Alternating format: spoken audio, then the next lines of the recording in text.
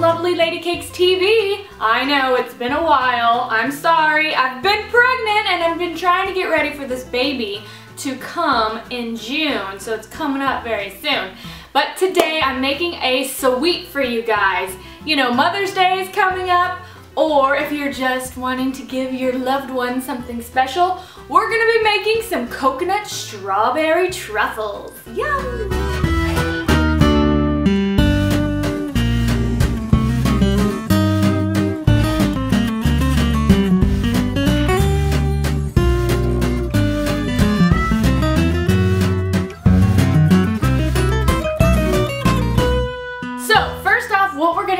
Are strawberries. I love using organic fresh strawberries or down by your farmer's market, just pick up a whole box. And what we're gonna do with these strawberries are dice them up and then we're actually going to freeze them because our truffle main part, instead of chocolate inside the truffle, is going to be this pureed strawberry goodness. It's super simple. So make sure that you cut them up really fine and then freeze them because I'm going to be using a fun tool that I recently got. It's called the dessert bullet. It's super cool. You just add your frozen pieces inside this chute, you push it, you turn it on, you push it down, and out comes this amazing puree. For you guys who don't have a dessert bullet, that's okay. Just put all your little um, cubed frozen pieces just in a Cuisinart or a blender and just pulse it real lightly because you still want it to be frozen because we're gonna mold them now with a spoon or an ice cream scooper and mold them into balls because we want the shape of a truffle, that's right.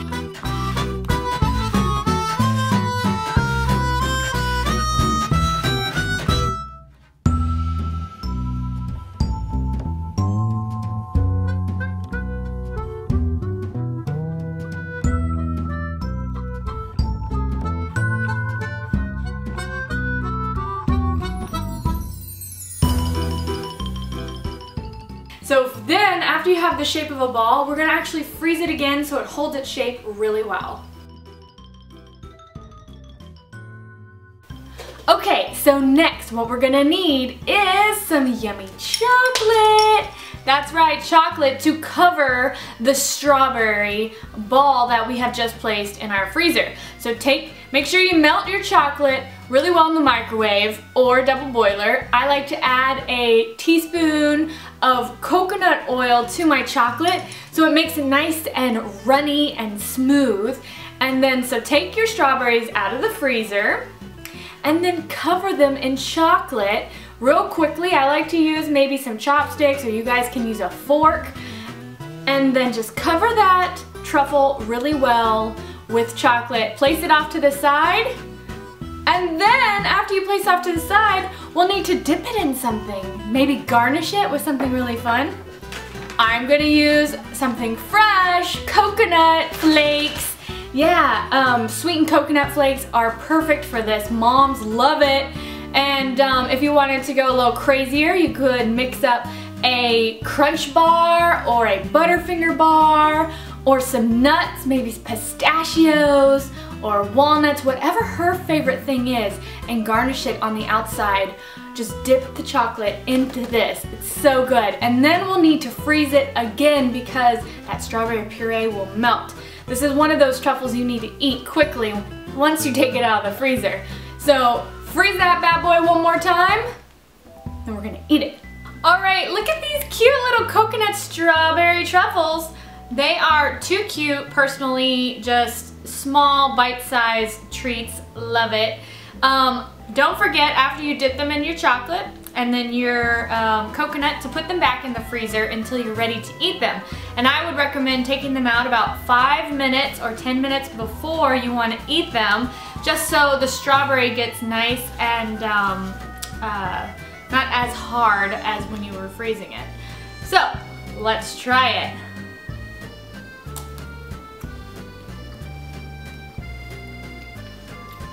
Sweet.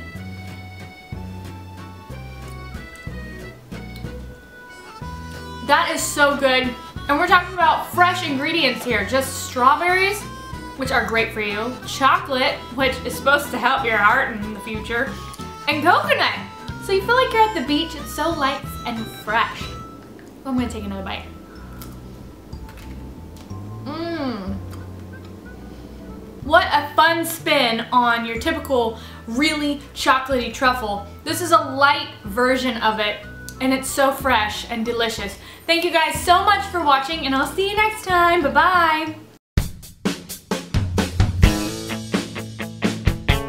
Guys and welcome back to Cake Talk. It's been a while, I know. Well, last week I asked you guys what you're doing for Mother's. Mother's Day is coming up and a lot of you answered. Listen to what you said. And Christina Fugue said, I'm making my mom a cake. It's going to be mint chocolate chip. And Katie Chow said, I'm probably gonna make a challah bread with some lemon sorbet. And Kitty Cat said, I'm making my mom a poetry book wrapping it up and surprising it to her. Very creative. Check out your really cool photos that you guys leave me on my social media pages.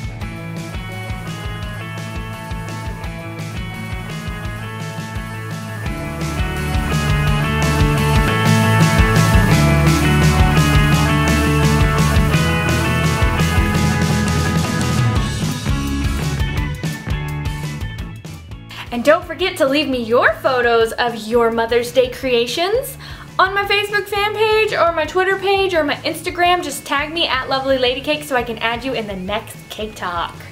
And this week's question, why don't we tag this photo of me, pregnant Anna? And thanks so much for watching and I'll see you guys next time. Bye-bye!